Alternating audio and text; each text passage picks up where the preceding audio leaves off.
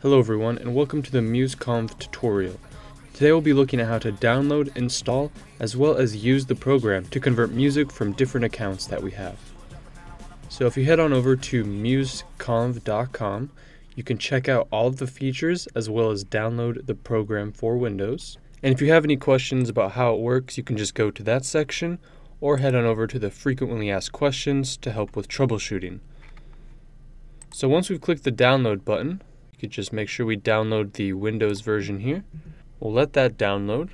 And sometimes when you launch it, it will ask to make sure that you have the most recent version and you'll just want to click on yes to download the most recent version. That way everything will work properly, there'll be less bugs, and there might even be some new features implemented. So once we load up MusConv, we can see all of the things we can import from on the left here, and this is going to be our main menu here, as well as our account settings up here, where we can send feedback, check for updates, or visit the website. So the first thing we're going to take a look at doing is transferring playlists from Spotify over to Amazon Music. And just to show the sheer power that this program has, we're going to be transferring a couple of playlists at once. So before we transfer, I'm going to look inside of my Spotify here. You can see I have three playlists called Popular 1, 2, and 3, and these just contain the songs that we're going to be transferring to Amazon Music. So the first thing we want to do is log in to our Amazon Music account. And once we've logged into our account, it's going to load up all of the playlists contained within this product. So Amazon Music has all of these songs inside of it here. Now let's go ahead and log into our Spotify account. And then we'll also want to click on OK to approve it to access our account. And once we confirm that, it's going to, just like before, load up all of our playlists for us. And I'm going to go ahead and select these three popular playlists, which each contain three popular songs. Now one thing that I should note is while transferring music using MusConv, you'll want to select more popular songs, as these are more likely to be cross-referenced in the different databases. For example, if we pick a popular song, it's likely to be in both Spotify and Amazon Music, but if we picked a song that might just be on Spotify, we're not going to be able to transfer it to any of these other services. So I'm going to select the album or playlists that I want to transfer and click on transfer selected or click on this transfer button here.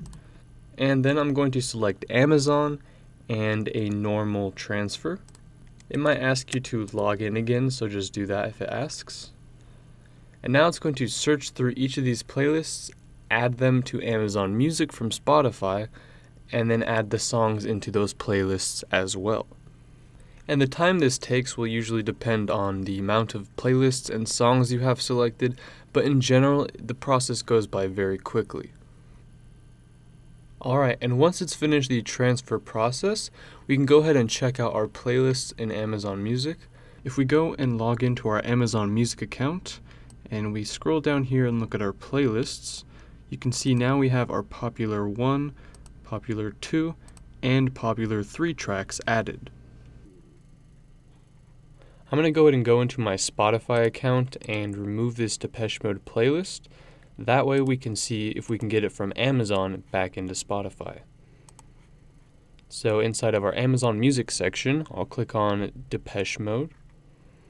So inside of our Amazon Music, I'll click on Depeche Mode, click on the Convert button, and this time we'll go to Spotify and a normal transfer. Approve it with Spotify. And now it's going to again go through and search for the tracks that are in here and add them to our Spotify playlist. So if we go back to our Spotify window and refresh all of our playlists, you can see we now have Depeche Mode, which has been added from our Amazon Music account. Now let's go ahead and convert to some other useful formats. If I grab my Spotify Depeche Mode playlist, let's go ahead and convert this to a CSV file. We'll just click on Save. And then we'll select a place to save this. We'll just call this Depeche Mode playlist from Spotify. And click on Save. And just like that, we've saved it into a CSV file. So I can open that up and say Microsoft Excel. And it's going to have all of our track information and playlist information organized here in these columns and rows. And we can do the same thing with Amazon Music.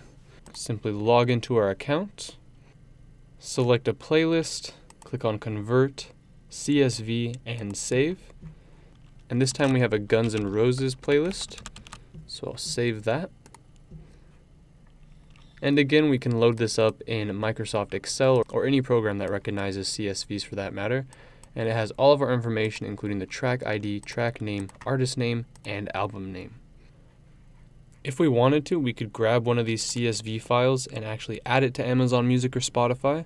So if I click on CSV and open up a file here, I'll go ahead and click on my Depeche Mode playlist from Spotify. So what I'm going to do is click on the two files I want to transfer here and click on this add button here. And now we have our album from the CSV file. We'll click on convert and Amazon normal transfer. Log in really quick.